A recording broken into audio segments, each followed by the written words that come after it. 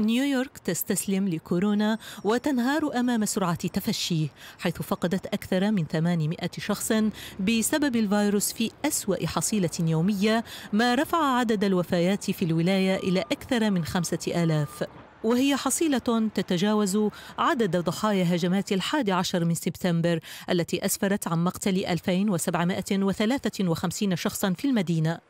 ورغم عدد الوفيات المذهل في أكبر مدينة أمريكية بدت السلطات في نيويورك متفائلة بأن التفشي قد يكون أخيرا ويتراجع على غرار نطاق ساخنة عالمية أخرى مثل إيطاليا وإسبانيا وقبل ذلك الصين.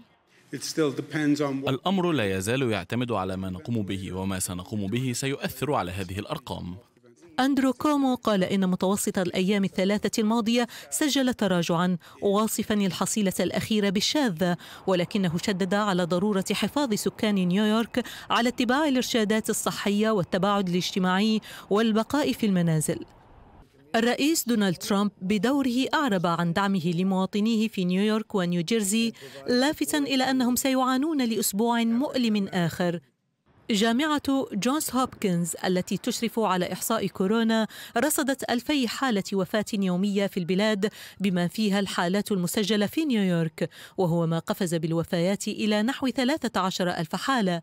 في حين بلغت الإصابات اليومية أكثر من 28 ألفا لتقترب بذلك من نصف مليون حالة.